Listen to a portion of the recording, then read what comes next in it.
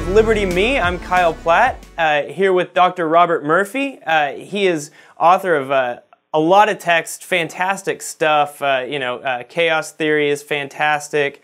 Um, you know, all the economic stuff. He is a fellow at the um, Ludwig von Mises Institute, and he's written a Liberty Guide for Liberty Me, which is uh, how to become a independent intellectual. I've wanted to talk to you forever, Bob, and it's it's an absolute pleasure. So thanks so much for being on.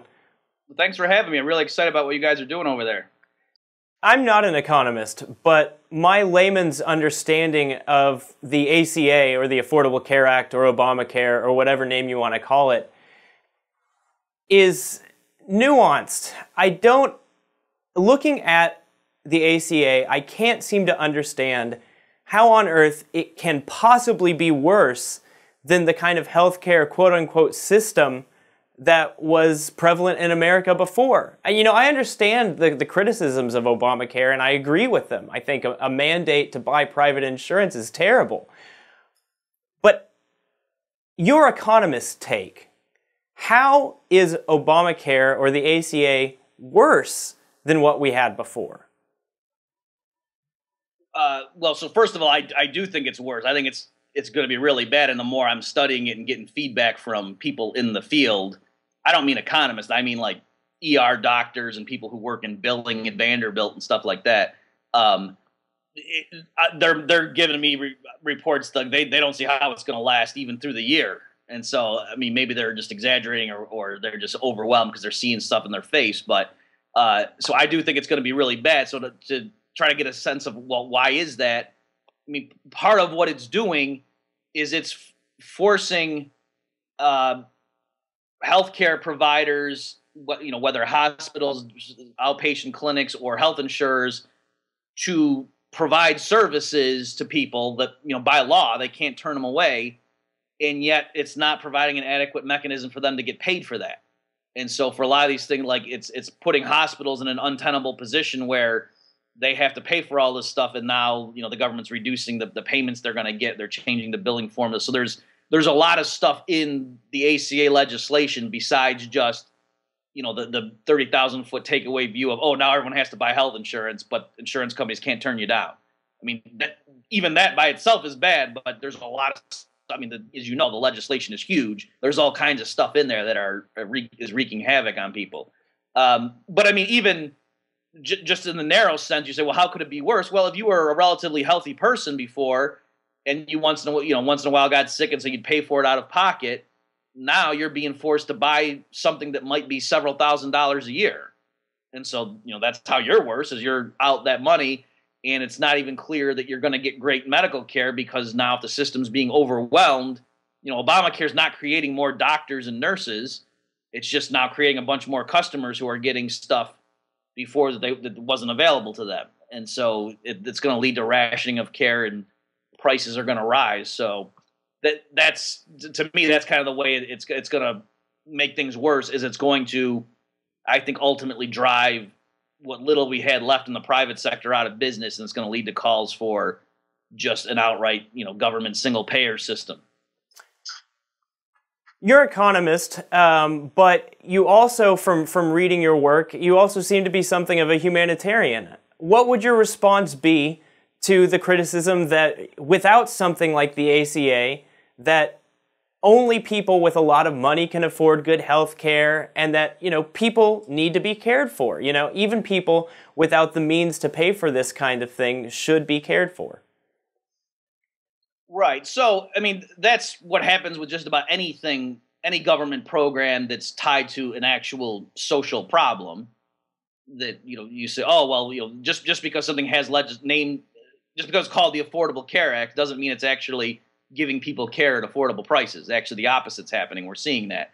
Um, but it's uh, so so. Yes, there are people who are not being served well by the healthcare industry and uh, but the, the solution to that to say okay we we, we want to get more uh, output in this sector and we want to bring down prices to me you know you don't say well this is a job you know that sounds like a job for the government to you know create more output and to make things cheaper no the government i mean anything it touches it makes more bureaucracy and and causes prices to go up so if you're saying, you know, well, what would you do instead? I mean, there's all kinds of stuff, starting with getting rid of you know, the AMA and other ways that the, the American Medical Association, other ways that the government artificially restricts the provision of healthcare services. You know, so the government has all kinds of ways that it directly and explicitly limits supply in this area, and you know that's one way you could just open it up really quickly and bring prices down.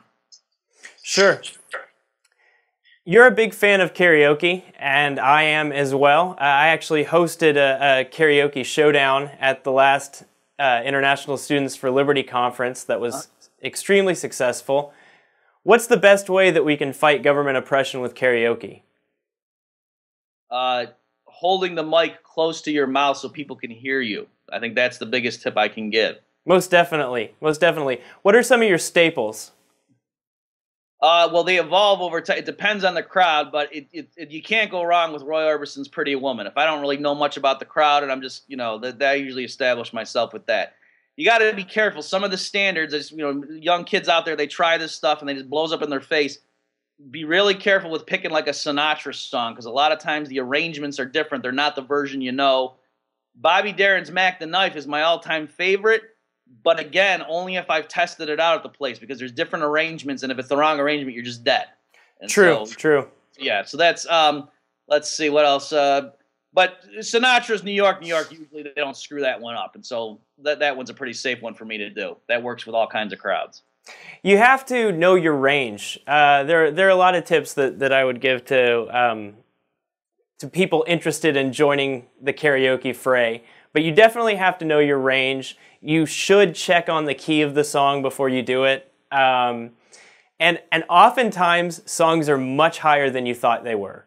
That, yeah, that's that's a good point. Like for example, I've discovered that I can do Ricky Nelson and Eric Clapton.